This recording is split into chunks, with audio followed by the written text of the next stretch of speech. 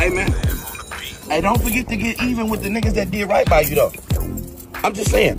A lot of niggas be sitting up like, man, nigga, oh my mama, I can't wait to get back on this nigga. And y'all be seeking revenge. Y'all be wanting to get revenge on the nigga that stole something from you. Be wanting to get revenge on the nigga that, you know what I'm saying, that might have got at you. You feel me? You might be wanting to get revenge on the nigga that put hands on you. You might be wanting to get revenge on the broad that cheated on you. You might be wanting to get revenge. You know what I'm saying? Y'all got a lot of malice and a lot of a lot of anger and, and unchanneled emotion in your hearts that you want to get revenge.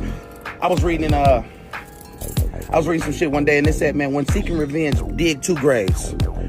Dig two graves. One for the person that you planning on revenge on and one for yourself because you killing yourself. You putting yourself in the same grave because you actually becoming what it is that you seeking revenge for. So actually the universe gonna get revenge on you. So dig two graves while you doing that. So I'm gonna tell you this. Nigga, don't forget to get even with the motherfucker that did right by you. Don't get don't forget to get even to the person that looked out for you when you couldn't look out for yourself. Don't forget to get even with that person that gave you somewhere to stay when you couldn't when you ain't had nowhere to go.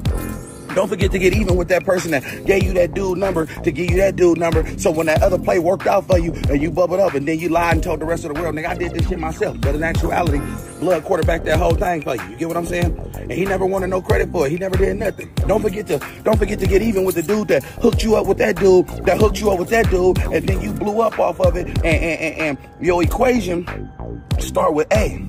But you tell everybody else your else your problems with M and E. That's me. You know what I'm talking about? You tell everybody else, oh, that's me. That was me. That was nah, nah, nah, nah, nah, nah, nah. You got to get to the empathy of your equation. You see, it started with A. Blood put you up with dude.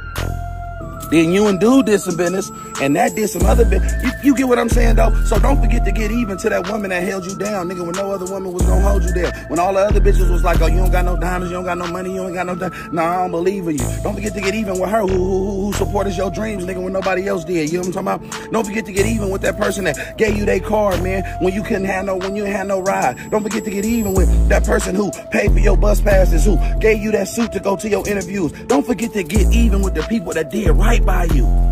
You get what I'm saying? While y'all out here looking for revenge and looking to get even with everybody else, get even in your heart, man. Get even in when you get a chance to say, man, if I stole something, I could hopefully repay that. If I broke something, I could hopefully fix that. I could mend that. If I made a situation I was fucked up, let me try to get better. If I offended somebody, let me apologize. Don't forget to get even on the right side. You feel me? And I know we in the Bay, but I felt like Miami today. The air way, not the other way.